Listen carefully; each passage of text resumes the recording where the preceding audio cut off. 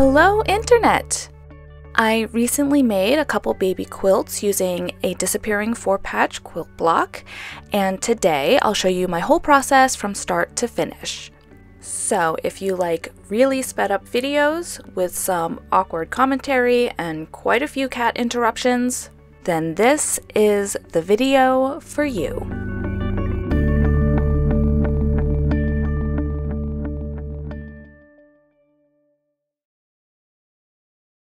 Start, I'm using two Charm Square packs that I bought from Jordan Fabrics.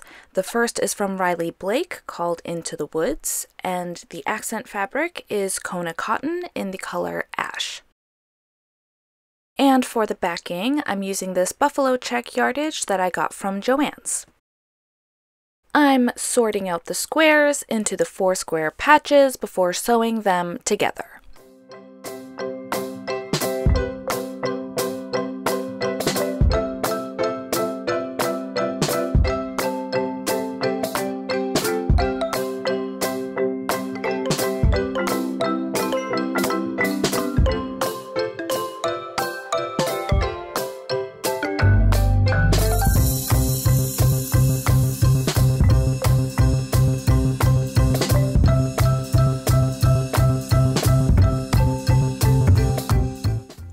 Course, my supervisor stops by to make sure I'm not slacking.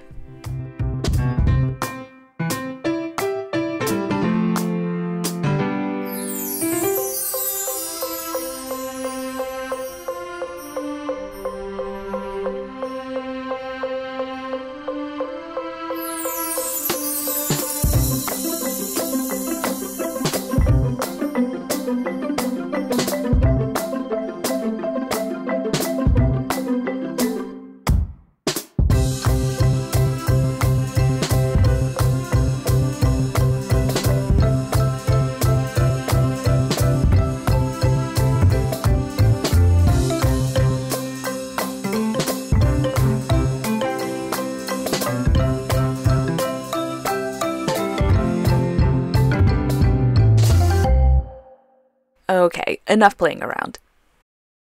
Now I'm finger pressing the seam allowances in opposite directions before ironing and sewing the full blocks together.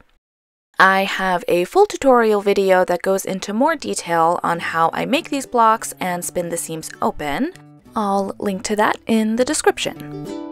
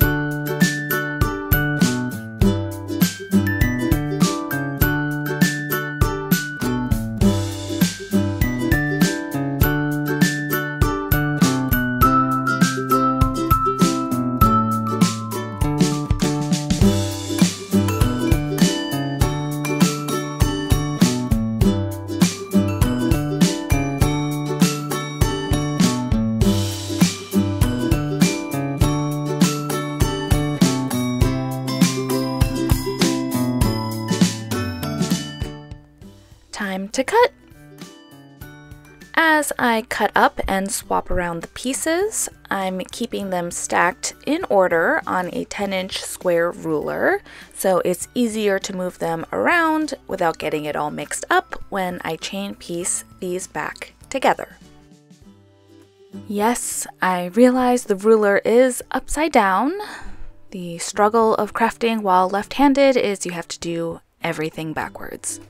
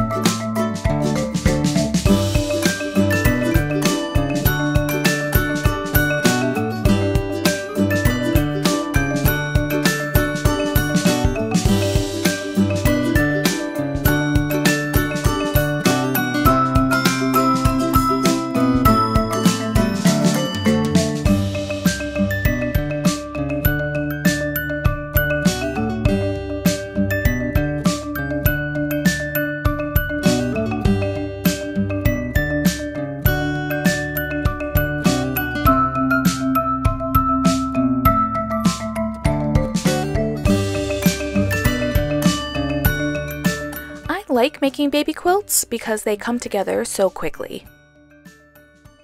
This year in particular, we had a lot going on with some of my cousins having babies, plus, I was getting ready to move, so this was something I could make quickly and still have a lovely finished quilt.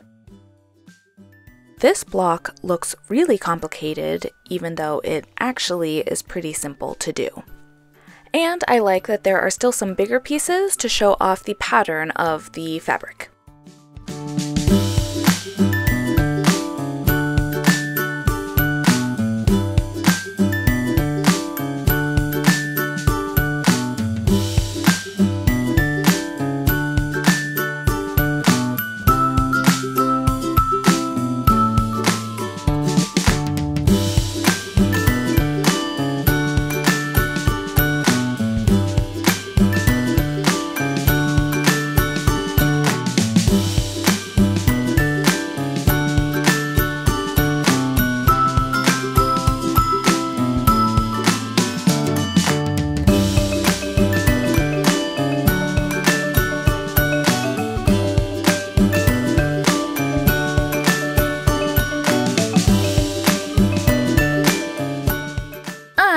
Pressing all of the finished blocks, giving them a good steam before starting on the most time consuming part, deciding the layout.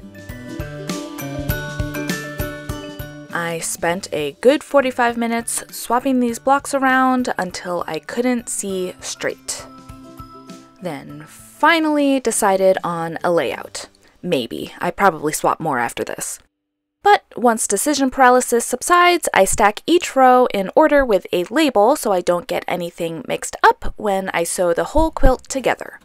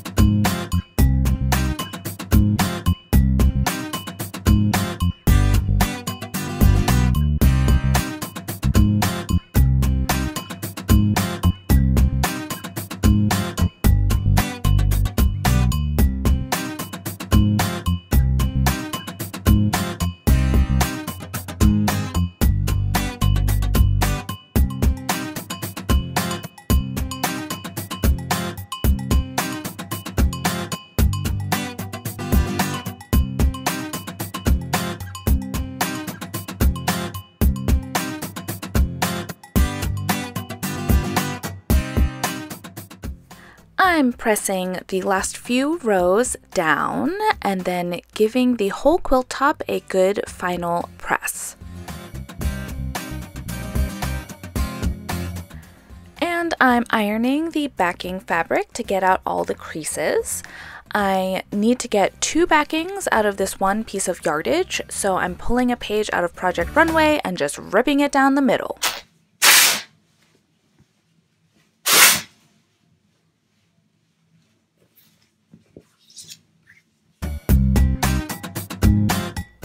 Now I assemble the quilt sandwich with the backing, a cotton batting from Warm and Natural, and of course the top, and measuring to make sure it's even on all sides. I thread baste my quilts together. I used this curved needle from John James, the smaller size, and just some polyester thread that I have in my stash. Come on, focus. There we go. I basted every few inches using essentially a really long pad stitch so the layers don't shift around. I've tried basting with safety pins and I hate it, And I don't want to use a spray basting glue just because of the cat. I don't want it to get everywhere. But I don't mind thread basting. It might take a little longer, but I find it's easier to move the quilt around and I don't have any issues removing these threads later, even with machine quilting. I'm basting all around the perimeter with a large running stitch.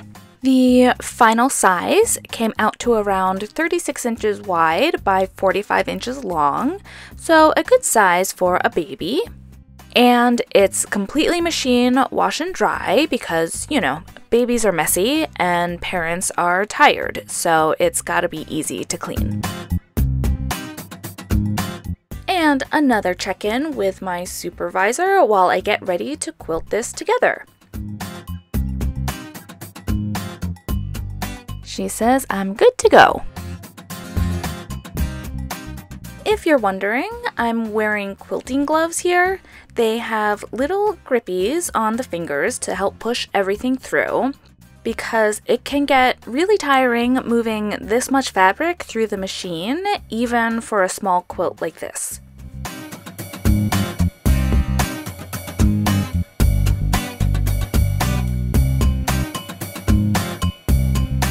I'm using a walking foot and cotton thread and just making straight lines along each seam, keeping it nice and simple today.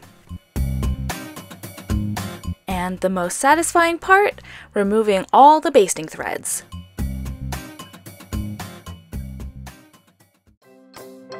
And the second most satisfying part, cutting off the excess fabric around the edges before adding the binding. For the binding, I cut two and a half inch strips from some extra fabric in my stash and sew them together into one long piece. There are hundreds of tutorials on YouTube for how to attach quilt bindings, which explain it way better than I can.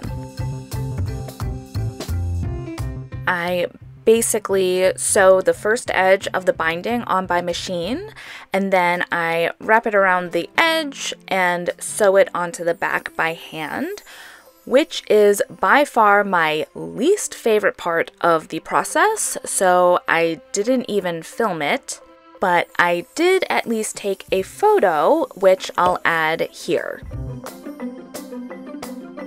It does come out really nice though, so it's worth the suffering.